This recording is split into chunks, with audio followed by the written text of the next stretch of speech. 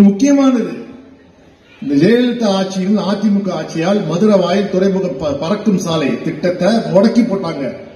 இதனால போக்குவரத்து நெரிசல் எங்க? வடசென்னைக்கு தான் அந்த திட்டத்தை மீண்டும் துவக்கி ஐயாயிரத்தி எழுநூத்தி எழுபது கோடி ரூபாயில கொண்டு அது மட்டும் இல்ல வெள்ளத்துல வந்தோன்னு சொன்னார். இந்த வெள்ளத்தை தண்ணி இப்ப பாத்து ஸ்கூல் லீவுன்னு அந்த மாதிரி கிடுகிடுன்னு போயிட்டு காலம்பரம் ஒரு ட்ரெஸ் சாயங்காலம் ஒரு ட்ரெஸ் நைட்டு ஒரு ட்ரெஸ்ன்னு விதவிதமா ட்ரெஸ் போட்டு இங்க இந்தியா கஷ்டத்துல இருக்கு. அதை பத்திலாம் அவர் கவலை இல்லை. பெட்ரோல் விலை எழுபது ரூபாய் இருந்தது. இன்னைக்கு நூத்தி பத்து ரூபாய்க்கு பெட்ரோல் விலையை கொண்டு வந்துட்டு ஒண்ணுமே பண்ணாம டீசல் விலை நூறுரூவா தாண்டிடுச்சு. இன்னைக்கு நம்ம ஊர்ல என்ன சொல்லுவோம் போய் சிறுக சேமியங்கள். ஏன்னா அவர்களுக்கு அரசாங்க வேலைகளை பத்தி கவலை இல்லை. மக்களை பத்தி கவலை இல்லை. வேற என்ன பண்ணாங்க? விற்கலாம். காசு இல்ல. நம்ம எல்லாத்தையும் விற்கலாம். சொல்லி யாரையும் போயிடுறாங்க டாட்டானா பிரியாதா வாங்க டாட்டா அந்த பிஎஸ்என்எல் விற்பனைக்கு சொல்லிட்டாங்க அடுத்து என்ன? அதானி அம்பானி.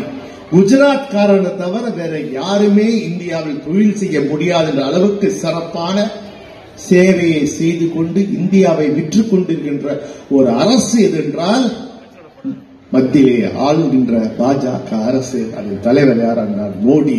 அவங்களுக்கு இங்கெல்லாம் எல்லாரும் பீப்பாய் தூக்கி கொண்டு சிறப்பா செய்யறாரியா குஜராத் மாடலியா? பாரியா நீங்க இன்னையே நீங்க தேவலம திராவிட மாடல் திராவிட. எல்லாம் குஜராத் மாடல் அது ஒரு நிதியமைச்சர் வராங்க. வெகு விரைவில் தமிழ்நாட்டில் குஜராத் மாடலை ஃபாலோ பண்ணணுமா? அட பாருங்களா இப்பதாங்க பார்த்தாங்க இப்ப குஜராத்துக்கு யார் வந்தா? குஜராத்தில் ஒரு பெரிய நிகழ்ச்சி யார் வந்தாங்க? குஜராத்துக்கு இப்பொழுது பெரிய நிகழ்ச்சி நடந்தது. பெரிய தலைவர்கள்லாம் உலக தலைவர்கள்லாம் குஜராத்துக்கு வந்தார்கள். குஜராத் மாநில வந்து மோடி கிட்டத்தட்ட பதினஞ்சு வருஷமா ஆட்சி பண்ணிட்டு இருந்தாருன்னா எவ்வளவு செழிப்பா இருந்திருக்கும். என்ன பண்ணாங்க தெரியுமாமா இந்த காடா துணி இருக்குல்ல காடா துணிய. காடா துணிய மீட்டர் கிலோ கணக்கு வாங்கி வாங்கி ரோட்ல எல்லாத்தையும் மறைச்சாங்க. ஏன்னா அவ்வளவு ஏழ்மையா? இப்போ இல்ல இப்போ இப்போ வந்து அனைத்துமே. மக்கள் யாருமே குஜராத்தின் ஏழ்மையே பார்க்க கூடாது நானும் யோசிச்சேன் எங்களுக்கு வாய்க்கீழே குஜராத் மாடல் குஜராத் மாடல் சொல்றீங்க காட்டைய? ஓ மாநிலத்தை வெளிநாட்டு கேமரால வரல டெய்லி வரல அந்த கேமரா மூலமாக நீ சொல்லுகின்றிய உன் சிறப்பு மிக குஜராத். ஏன்னா நமக்கு தெரியாது. குஜராத் எங்கேயோ இருக்கு. சொல்ல பாரு கைலாசம் போவ கைலாசம் போவ. சொல்ல போவாங்க கூரை ஏறி கோழி பிடிக்க தெரியாதவன் வானத்துக்கு ஏறி வைகுண்டத்துக்கு போக போறாங்க குஜராத்தை ஒண்ணும் பண்ணாம வச்சு உப்பாரி வச்சு அது நம்ம ஊர் மக்கள் ஐயோ சிறப்பு சிறப்பு சிறப்பு. என்னையா பண்ணீங்க? ஒண்ணுமே பண்ணலையே. அந்த அவமானத்தை மறைக்கத்தானே நீங்கள் துணியை வைத்து மறைக்கிறீர்கள் எங்கள் தலைவர் பாரியா இன்னைக்கு பாத்தீங்கன்னா இன்னைக்கு காலை ஒரு ஆயிரம் விளக்கு நிகழ்ச்சி. சர்பிட்டி தியாகராஜ் செட்டியார் அவர்கள் முதல் முறையாக என்ன பண்றாரு? நீதி கட்சியின் தலைவர். அதுதான் திமுக வந்தது. முதல் முதலாக சத்துணவை கொண்டு வந்து யார் என்றால் நீதி கட்சி அதன் தலைவர் சர்பிட்டி தியாகராஜன் அவர்கள். அவர் கல்வெட்டை இன்னைக்கு திறந்து அது பக்கத்தில் நம்ம முதல்வர் இருந்தார். எனக்கு ஆனந்தம். என்றால் தலைவர் கலைஞர் என்ன பண்றார் அந்த சத்துணவுக்கு முட்டை போட்டாரு. இன்னைக்கு நம்ம தலைவர் தளபதி என்ன பண்றாரு தெரியுமா? திராவிட மாடலையா? புள்ளிங்க எல்லாம் எங்க வீட்டு பெண்கள் எல்லாம் வேலைக்கு போறாங்க.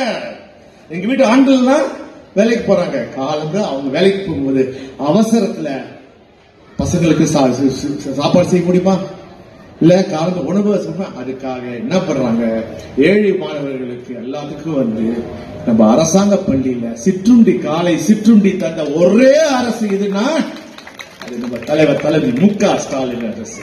ஒன்று முதல் ஐந்தாம் வகுப்பு வரைக்கும். ஏன்னா அம்மா வேலைக்கு போனோம் இனிமே மாறி போச்சு. ரெண்டு பேர் வேலைக்கு போனாதான் குடும்பத்தை நடத்த முடியும் இருக்கு. ஏன்னா எங்க ஊர்ல பெண்களும் படிக்க வைக்கிறோம். அவர்கள் படித்து வேலைக்கு போகின்ற சுதந்திரத்தை கொடுத்தது திராவிட மாடல் தான். அது மட்டும் இல்ல என்னாச்சு? நம்ம ஊர்ல பெரிய பிரச்சனை என்ன? ஊட்டச்சத்து குறைபாடு. இல்ல இருக்கு. ஆனா என்ன சரியான சாப்பாடை சாப்பிடாம ஊட்டச்சத்து சாப்பிடாம நம்ம குழந்தைகள்லாம் கொஞ்சம் குறைபாடா இருக்கு. அதை நிவாரணம் செய்வதற்காக தமிழகத்தில் ஆறு வயதுக்கு உட்பட்ட குழந்தைகள் பரிசோலை செய்து அவர்களுக்கு தேவையான ஊட்டச்சத்தை இலவசமாக வழங்கப் போகிறது. யார் என்றால் நம்ம தளபதி மு க ஸ்டாலின் அதே மாதிரி என்ன பண்றாங்க? நம்ம பிள்ளைங்க மேல் படி பிடிக்கணுமா ஐஐடிக்கு போகணுமா? இல்ல இது ஜிப்மருக்கு போகணுமா? எதுக்கு வேணா போகணுமா?